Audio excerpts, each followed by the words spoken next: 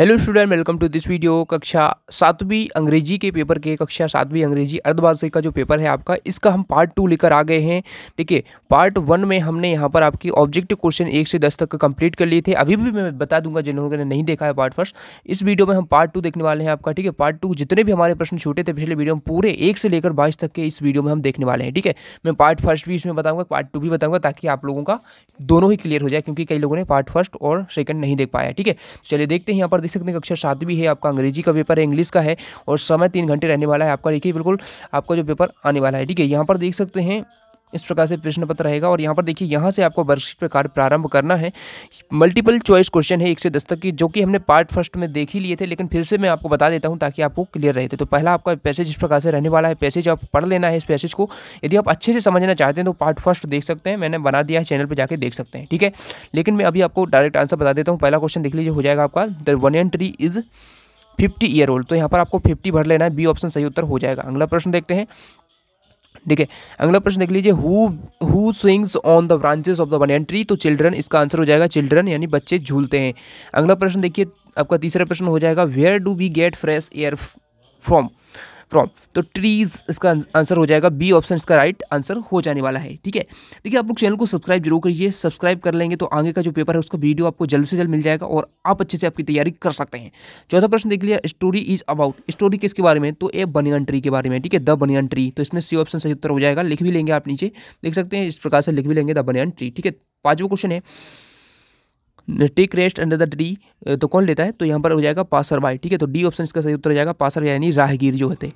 छठा क्वेश्चन देखिए, मैं जल्दी जल्दी इसलिए बता रहा हूँ क्योंकि पार्ट फ़र्स्ट में मैंने अच्छे से समझा दिया है, आप लोग जाके देख सकते हैं पार्ट फ़र्स्ट जिन्होंने अच्छे से समझना है, ठीक है? Opposite of small is small का अपोजिट बिग हो जाएगा, ठीक है? स्मॉल मतलब छोटा होता है बिग मतलब बड़ा होता है, ठीक है? छठा प्रश्न देख लीजिए। ये हमने देख लिया, सादा क्वेश्चन देख लीजिए। The banyan tree stays day and night in the sun and rain ठीक है? तो इसमें बी ऑप्शन सही उत्तर हो जाएगा। ठीक है? तो बी ऑप्शन अच्छे से याद रख लीजिए in the sun and rain ठीक है? अब देखिए, आठवां क्वेश्चन देख लीजिए। The plural of branches branch का इसमें ब्रांचेस हो जाएगा, ठीक है? सी हो जाएगा इसका उत्तर। नौवा क्वेश्चन देख लीजिए, नौवा क्वेश्चन है आपका। The past tense of sit sit का आपको पास्ट टेंस बताना है तो इसमें देखिए सिट का सेट होता है। सिट सेट सिट ये इसकी फ़र्स्ट फॉर्म होती है सेकंड होती है सिट फेस थर्ड ठीक है? तो इसमें सेट हो जाएगा। सी ऑप्शन आपका उत्तर सही हो जाएगा। चलिए नौवा क्वेश्चन हो गया हमारा, दसवा देख लीजिए pick the odd one out and write इसमें सबसे अलग बताना है आपको तो इसमें चिल्ड्रन सबसे अलग है, क्योंकि लीव्स ट्री ब्रांचेस ट्री से संबंधित है। बाकी जो चिल्ड्रन है, वो बच्चे अलग होते हैं, ठीक है? उसके बाद देखिए, यहाँ पर शॉर्ट आंसर हमने पार्ट फ़र्स्ट में यहाँ तक कंप्लीट कर लिए थे, एक से दस तक के। अब हमें देखने हैं, ग्यारह से आगे के पूरे प्रश्न में बताऊँगा, ग्यारह से बाईस तक, ठीक है? क्योंकि आपके बाईस प्रश्न आपको पूछे जाते हैं तो पहला क्वेश्चन देख लीजिए मतलब ग्यारह क्वेश्चन देख लीजिए। What does the child see in the countryside तो the child see the child can see rivers trees and cattle in the countryside ठीक है? तो इसमें ग्यारहवा हो जाएगा। इस प्रकार से आंसर लिख देंगे। बारहवा क्वेश्चन देख लीजिए, बारहवा क्वेश्चन है write the rhyming word for तो वॉल का लिखना है तो इसमें बॉल भर लेंगे। वॉल मिस दीवार होता है वॉल मिस गेंद होता है। किट का लिखना है तो इसमें सेट हो जाएगा ट्री का फ्री हो जाएगा, ठीक है? तो ये जो लिखे हुए हैं ना, ये आपको लिखना है। ये तो बाकी लिखे रहेंगे पेपर में, ठीक है? तेरहवा क्वेश्चन देख लीजिए तेरहवा क्वेश्चन है find the find the odd one and write इसमें सबसे अलग बताना है आपको, अलग कौन सा है? तो ए देख लीजिए a river ocean tree lake इसमें देखिए रिवर ओशियन ट्री ये और लेक इसमें देखिए लेक ओशियन ये तो पानी के स्रोत हैं। ट्री इसमें सबसे अलग है, पेड़ अलग है, ठीक है? पेन शार्पनर इरेजर बुक तो इसमें बुक अलग है बुक को पढ़ा जाता है, बाकी ये सब लिखने से संबंधित है। ब्लू रेड ग्रीन बोटल तो ये सब कलर्स हैं और बोटल इसमें अलग हो जाएगा, ठीक है? तो इस प्रकार से आपको कर देना है, यहाँ पर लिख भी देना है, ये लिखे हुए ना। अब देखिए चौदह प्रश्न देख लीजिए, चौदह प्रश्न है आपका। Make new word by joining the words ठीक है, यहाँ पर देख सकते हैं रैन है तो रेनबो ठीक है, ये रेनबो हो जाएगा। रेन कोट हो जाएगा। रेन ड्रॉप हो जाएगा। ठीक है, इस प्रकार से इसको लिख कर साथ में इसको जोड़ के लिख देना है यहाँ पर। ठीक है, इसको लिखकर फिर इसको जोड़ के लिख देना है तो रेन कोट हो जाएगा। इसको लिखकर इसको जोड़ के लिख देना है। ठीक है, इस प्रकार से लिखेंगे तो ये आपके बन जाएँगे सभी शब्द। पंद्रह प्रश्न देख लीजिए, पंद्रह प्रश्न देख लीजिए इसमें है। Fill in the blanks with suitable silent letter silent letter बताना देखिए, इसमें के हो जाएगा। नोब है, लेकिन इसको हम, इसमें के साइलेंट रहता है। नोब हम ऐसे लिखते हैं। पढ़ते इसको नो ही है, लेकिन के इसमें लिखना ज़रूरी है, क्योंकि ये इसकी सही इस जो स्पेलिंग है, वो इस प्रकार से हो जाती है। रॉन्ग में इस प्रकार से डब्लू रहता है साइलेंट ऑनर में एच साइलेंट रहता है। ठीक है? तो इस प्रकार से लिख दीजिए। अब देखते हैं अगला प्रश्न। सोलह प्रश्न fill in the blanks blanks भरना है आपको, ठीक है? द तो इसमें भरना लीव्स सेकंड में देखिए टीथ आ जाएगा, और इंडिया इज़ अ कंट्री तो ये सब भर भर लेंगे आप, ठीक है? सत्रहवा देख लीजिए एक एक प्रश्न अच्छे से करना है, ठीक है? सत्रह write the correct form of the verbs given in the यहाँ पर जो दिए हैं तो मूव का सेकंड फॉर्म यानी पास्ट में सेकंड लगती है ना तो मूव्ड आ जाएगा, और थर्ड भी मूव्ड ही आएगा, क्योंकि सेकंड और थर्ड एक सी होती है इन क्रियाओं की क्लीन का क्लीन आ जाएगा, इसका क्लीन इसका भी एक सा रहता है प्ले का प्लेड और इसका भी प्लेड मतलब ये दोनों एक से रहते हैं, ठीक है? तो ये सेकेंड फॉर्म रहती है और ये थर्ड फॉर्म रहती है। ये दोनों एक सी रहती हैं, ये फ़र्स्ट फॉर्म है, ठीक है? तो इस प्रकार से आप कर लेंगे।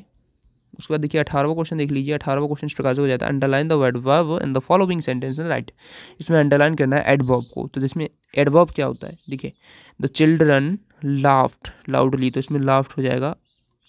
इसमें राइट्स हो जाएगा। इसमें वाक्ट हो जाएगा, ठीक है? तो इस प्रकार से कर सकते हैं। उन्नीसवा प्रश्न देख लीजिए fill in the blanks and with and और बट एंड और बट इसमें लगाना तो पहले में एंड भर लेना है, Radha and Rekha are two sisters दूसरे में बट भर लेना तीसरे में भी बट भरना है। तो इस प्रकार से भर लीजिए इनको, ठीक है? A mango tree is tall what a tomato plant is short इसमें भी बट भरना है, दोनों में भर लीजिए आप इस प्रकार से, ठीक है? और हमारा बीसवा प्रश्न देख लीजिए बीसवा प्रश्न ये रहा आपका। Use capital letter wherever necessary जहाँ पर भी नेसेसरी है, वहाँ पर कैपिटल लेटर यूज़ करना है तो यहाँ पर देख सकते हैं वेयर डज सारू लिप तो इसमें डब्लू बड़ा बनाना है, ठीक है? इसमें छोटा बनाना है, इस प्रकार से तो आपको बड़ा बनाना है तो W H E R E इस प्रकार से हो जाएगा, ये वाला जो डब्लू है, बड़ा बना देना है, इसमें छोटा बनाना तो इसमें बाकी वैसे ही का वैसे लिख देना है आई छोटा है तो इसमें बड़ा बना देना मतलब कैपिटल वाला बना देना है, इसमें ए छोटा है तो इसमें बड़ा बना देना है, अनीता, इस प्रकार से लिख देंगे, ठीक है? उसके बाद देखिए इक्कीसवा प्रश्न देख लीजिए। इक्कीसवा बाईसवा हमारा लास्ट प्रश्न रहेगा। ठीक है तो इक्कीसवा प्रश्न है फिल इन द ब्लैंक्स फिर the following information about yourself मतलब अपने बारे में भरना तो यहाँ पर देखिए इसमें जो नाम लिखेंगे, वो ये ये नहीं लिखना है। अपना नाम लिखना है, अपना नाम इंग्लिश में लिखेंगे, जो भी आपका नाम है, वो यहाँ पर लिखेंगे। आपकी एज लिखेंगे, यदि बारह है तो बारह लिख सकते हैं, तेरह है तो तेरह, चौदह है चौदह लिख सकते हैं, ठीक है। फादर्स नेम लिखना है, सुरेश। मदर नेम लिखना है, शांति। तो ये नहीं लिखना है। तो किसी का भी लिखा है। यहाँ पर अपने पिताजी का नाम लिखना है, आपको यहाँ पर और अपनी मदर का नाम लिखना है। स्कूल का अपने नाम लिखना है, ठीक है? तो ये सब करने के बाद चलिए हम अगला प्रश्न देखते हैं और देखिए, ठीक है? तो गवर्नमेंट मिडिल स्कूल तो यहाँ पर आप अपने स्कूल का लिखेंगे। ये नहीं लिखना है, ये तो इसमें एग्ज़ाम्पल के लिए लिखा है। माई नेम इज़, जो नाम है यहाँ पर लिखेंगे। माई फादर नेम इज़, जो आपके फादर का नाम है, यहाँ पर लिखेंगे। जो मैं यहाँ पर रेड रेड कर रहा हूँ ना तो यहाँ पर आपको अपना लिखना है यहाँ पर। यहाँ पर फादर का नाम लिखना है। उसके बाद यहाँ पर देखिए पूरा हो जाएगा। यहाँ पर अपना नाम फादर का नाम, यहाँ पर अपनी एज लिखना है। यहाँ पर माई मदर नेम इज़ वो मदर का नाम यहाँ पर लिखना तो इस प्रकार से यहाँ पर मदर का नाम, यहाँ पर आप फादर का नाम यहाँ पर अपना नाम इस प्रकार से भरेंगे। और इसमें कोई दिक्कत नहीं रहेगी, आपको बस अपना लिखना है। बाकी सब वैसे ही चलिए, अब बढ़ते हैं आगे। अब देखिए बाईस प्रश्न देख लीजिए। Look at the picture following picture carefully and write five sentence about इसमें देख सकते हैं। सन है, उसके बाद देखिए मरकरी है, यहाँ पर ठीक है तो ये सभी जो प्लानट हैं, आप देख सकते हैं, ये सभी प्लानट्स बने हुए हैं। इन प्लानट्स को देखकर आपको यहाँ पर देखिए, पूरा अच्छे से आप देख लीजिए।